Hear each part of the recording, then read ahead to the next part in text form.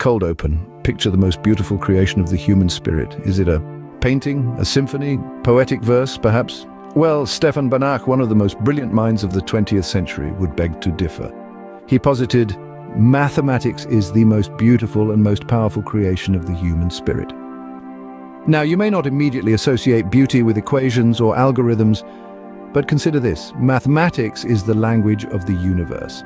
It's the foundation of every touchdown, every home run, every game-winning shot. It's the rhythm and timing behind every dance, the symmetry in architecture, the pattern in every piece of music. So, the next time you marvel at a sports highlight or a stunning piece of art, remember it's all just a wonderful equation, a testament to the power and beauty of mathematics. Loop!